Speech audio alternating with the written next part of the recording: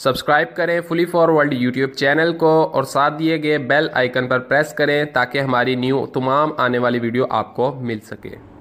अस्सलाम वालेकुम दोस्तों, आप देख रहे हैं fully for world YouTube channel. मेरा नाम है आज़म। दोस्तों, यहाँ पर आज आपको वैक्यूम पम्प अगर आपके पास नहीं है तो उसके बगैर कैसे इसको वैक्यूम किया जाता है, अपने एयर कंडीशनर को वो सिखाऊँगा। दोस्तों, बिल्कुल भी मुश्किल नहीं है। फॉर एग्ज़ाम्पल आप किसी ऐसी जगह पर हैं जहाँ पर आपके पास वैक्यूम या भूल गए या आपके पास वैक्यूम पम्प नहीं है तो आप वैक्यूम करना चाहते हैं प्रॉपर अपने एयर कंडीशनर को तो आप अपने एयर कंडीशनर के ही कंप्रेसर से कैसे पूरे सिस्टम को वैक्यूम कर सकते हैं। इस वीडियो को पूरा ज़रूर देखिएगा और अगर आपको वीडियो अच्छी लगे तो इसको लाइक ज़रूर कीजिएगा।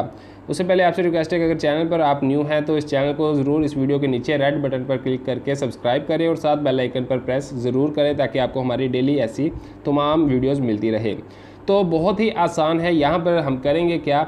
जो डिस्चार्ज हमारा पाइप है, वो लगा रहेगा सक्शन जो है वो ओपन रहेगा। सक्शन आप देख सकते हैं, मैंने ओपन किया है और सक्शन एल की जो है, वो हमने ऊपर जो डिस्चार्ज है, उसको तो हमने ओपन ही रखना है एल की वॉल को। ओके तो नीचे वाला जो वॉल है इसको हमने एल्की को ऑफ़ रखना है। ये चीज़ आप माइंड में सेव कर लें कि डिस्चार्ज जो डिस्चार्ज है ब्रेक पाइप वहाँ से होकर इंडोर से होकर, यहाँ से हमारी जो है हवा बाहर निकलेगी। हमने जो सक्शन वॉल है, उसको हमने एल की जो है वो ऑफ़ की हुई है। ठीक है? सक्शन का हमने पाइप उतारा हुआ है और उसकी एल की वॉल जो है वो हमने ऑफ़ की हुई है, यानी कि बंद की हुई है और जो हमारा डिस्चार्ज पाइप छोटा पाइप है, उसकी हमने एल की वॉल जो है वो ओपन किया हुआ है, ताकि वहाँ से जो है एयर वो डिस्चार्ज होकर और नीचे इंडोर यूनिट से होकर हमारे जो है सक्शन पाइप से बाहर निकले। तो इसके लिए अब हमारा जो है आउटडोर यूनिट ऑन होगा। हमने इसको ऑन करना है आउटडोर यूनिट को। ओके तो यहाँ पर नीचे मैंने लाइन इसीलिए लगाई है कि हम अगर चाहें तो थोड़ी सी फ्लशिंग भी कर सकते हैं पर्च भी हवा गैस के ज़रिए से कर सकते हैं। लेकिन अभी फ़िलहाल हमने इसको मुकम्मल प्रॉपर वैक्यूम ही करना है। ओके तो यहाँ पर जो है इसका आउटडोर यूनिट ऑन हो चुका है। तो जैसे ही अब आउटडोर यूनिट ऑन होगा तो हमारा वैक्यूमिंग स्टार्ट हो जाएगी खुद ब खुद।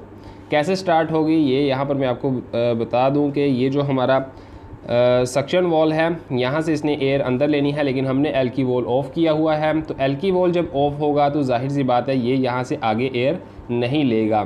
तो जो आगे मज़ीद होगी, वो डिस्चार्ज करता जाएगा। यानी कि जितनी एयर इसमें है, वो मुकम्मल इंडोर यूनिट से होकर यहाँ से सक्शन वाल से डिस्चार्ज होती जाएगी। तो यहाँ से हम इसका वेट करेंगे, पाँच सात मिनट इसका तकरीबन वेट करेंगे, ताकि जितनी एयर है इसमें डिस्चार्ज लाइन में और इंडोर यूनिट और यहाँ पर सक्शन लाइन तक वो सारी की सारी सक्शन वाल हमने इसीलिए ओपन किया है कि यहाँ से निकल, निकलती रहे।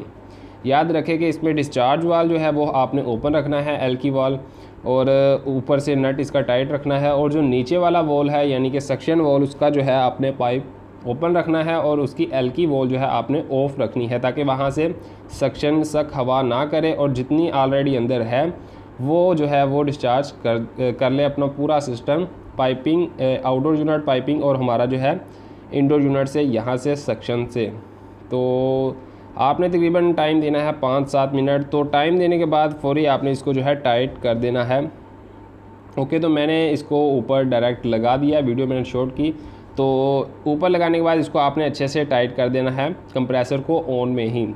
तो जैसे ही आप अच्छे से टाइट कर देंगे, फौरी आप अपना एसी ऑफ़ कर दें तो आपका वैक्यूमिंग अच्छे से हो जाएगा।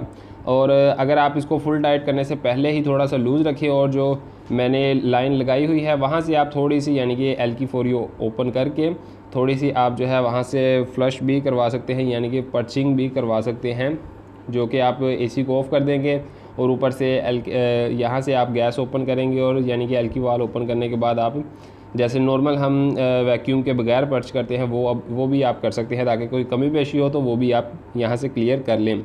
और एक इसी तरह का ही और मज़ीद, इससे भी अच्छा जो है वैक्यूम करने का तरीका है, जल्द वो भी, इसके ऊपर मैं एक वीडियो बना दूँगा। और आई होप कि आपको ये वीडियो बहुत अच्छी लगी होगी, और अगर आपको वीडियो अच्छी लगी है, इस वीडियो को लाइक करें शेयर करें। चैनल पर न्यू है तो इसको सब्सक्राइब ज़रूर करें। तो मैं मिलता हूँ आपसे नेक्स्ट वीडियो में। थैंक यू सो मच अल्लाह हाफिज़।